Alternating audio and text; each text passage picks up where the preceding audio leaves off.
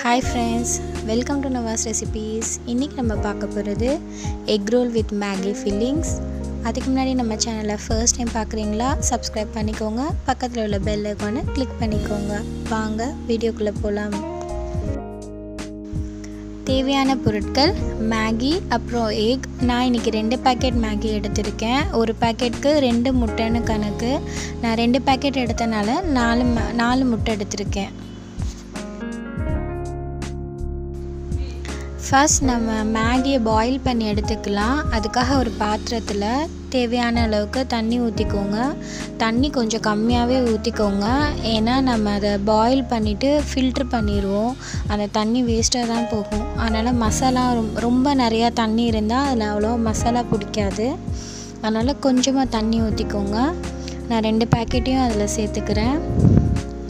அப்புறம் அந்த மேகியில் உள்ள மசாலா இருக்கு இல்லையா அதையும் நான் அதில் ஆட் பண்ணிக்கிறேன்.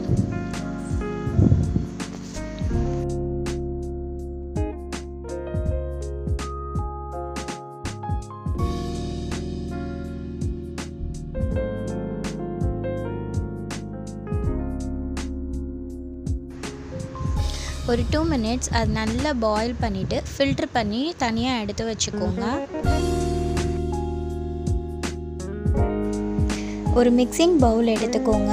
அதில் ரெண்டு முட்டையை உடச்சி ஊற்றிக்கோங்க கொஞ்சமாக சால்ட் கொஞ்சமாக பெப்பர் போட்டுட்டு நல்லா அதை பீட் பண்ணிக்கோங்க.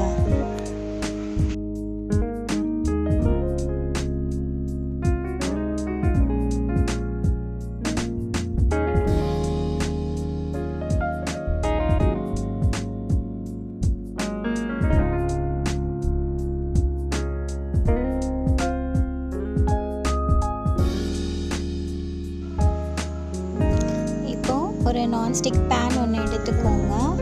அதில் நம்ம பீட் பண்ணி வச்ச முட்டையை ஊற்றிக்கோங்க நல்லா அந்த பேன் ஃபுல்லாக பரப்பி விட்ருங்க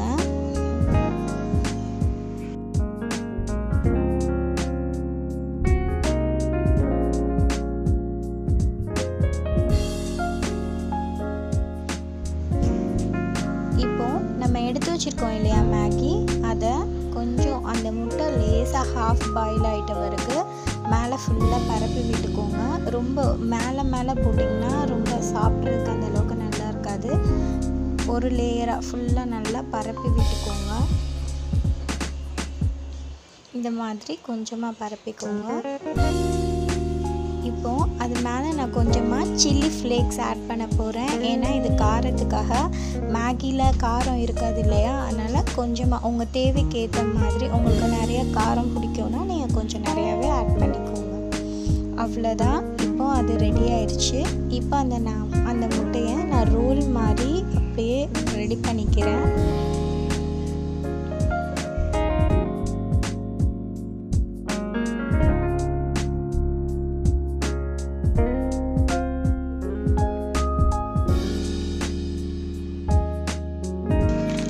அவ்வளோதான் friends egg roll with Maggi fillings ready ஆயிடுச்சு இது ஒரு ஸ்நாக்ஸ் ரெசிபி ஈவினிங் டைமில் பசங்களுக்கு செஞ்சு கொடுங்க.